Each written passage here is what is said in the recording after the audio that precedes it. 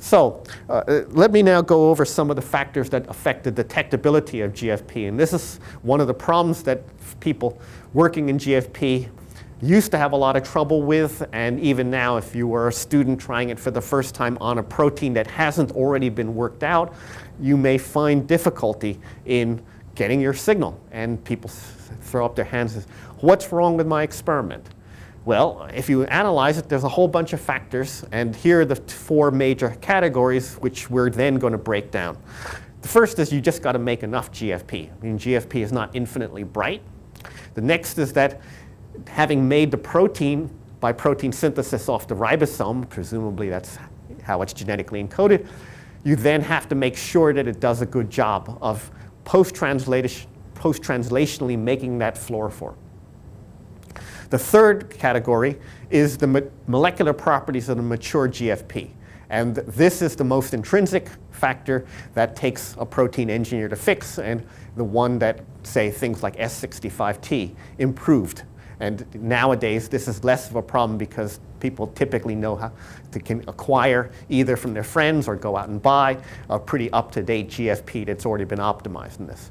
And finally, you have to remember that you have to detect these signals in a competition with noise and background. And uh, there is noise and background in fluorescence.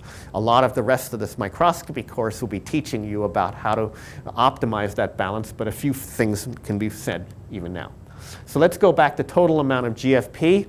Obviously, you've got to have enough copies of the gene and duration of expression, and this is back to your traditional molecular biology, you have also have to have a strong enough promoter and enhancer.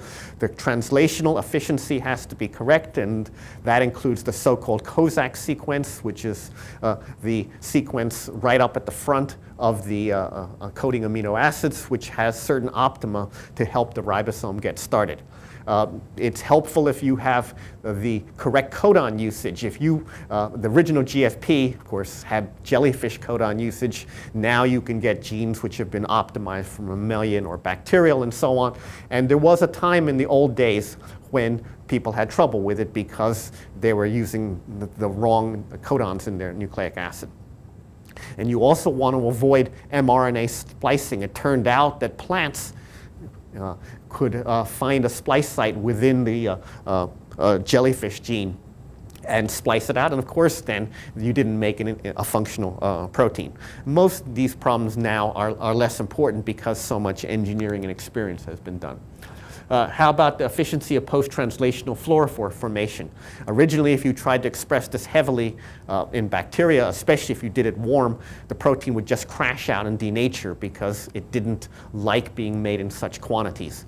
Uh, and uh, if you have chaperones available to help fold proteins better, that helps. In fact, this has even been used as a bioassay internally for the presence of chaperones. Pick a, a crummy GFP that has trouble folding and see whether you can make it fold, and that may be dependent on the chaperone that you want to assay.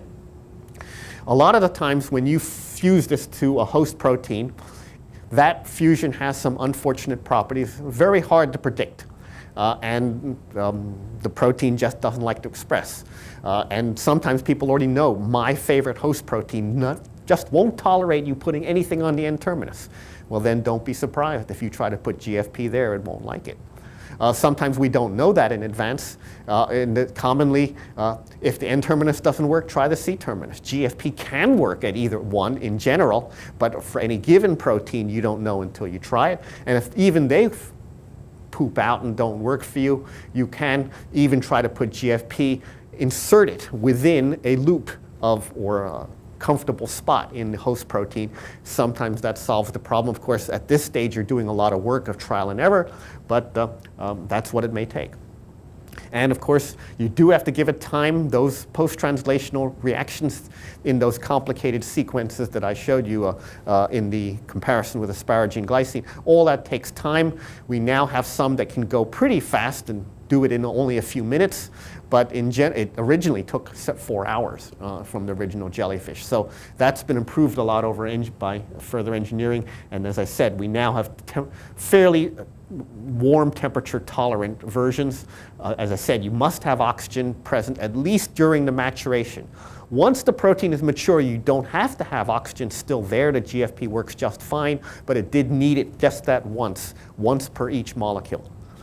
Uh, so uh, then the molecular properties, and we want to improve the wavelengths of excitation and emission, make them ones which are easily detectable, and there'll be a lot more on that in this lecture. We want to improve the extinction coefficient, which is the ability to absorb light, and fluorescence quantum yield, uh, which is once you've absorbed the light, how probable are you to re-emit it?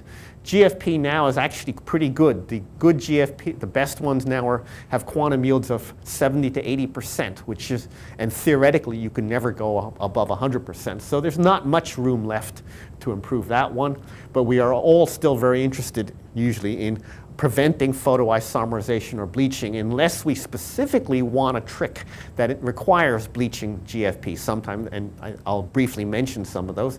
But most people, for most applications, just want the thing to shine as brightly as long as possible, and this is still an area of active investigation, how to improve that.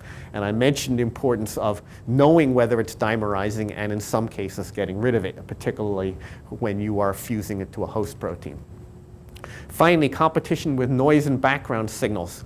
You must remember that a lot of culture media are also fluorescent at similar wavelengths, particularly if they have riboflavin, if they have a lot of serum proteins, and so on.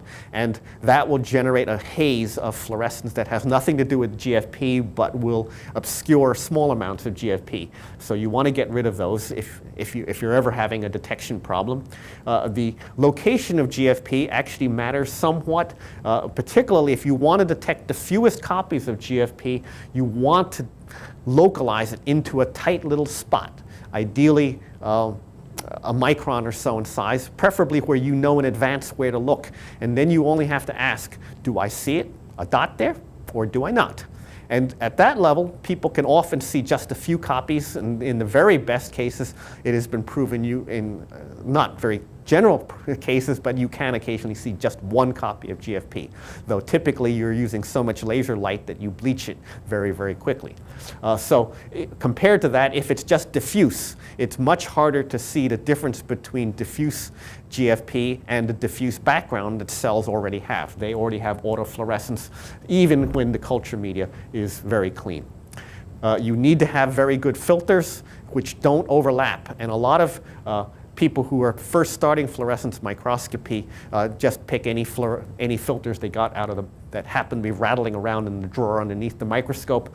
Uh, those are often not optimized, and we need ones which accurately excite the GFP but do not enable crosstalk. And crosstalk is when, say, a little bit of the excitation light can leak through the emission filter. So scattered light then, instead of fluorescence, can contribute. And uh, that's a, something you just got to buy better filters and dichroic mirrors. Finally, of course, we need good detectors.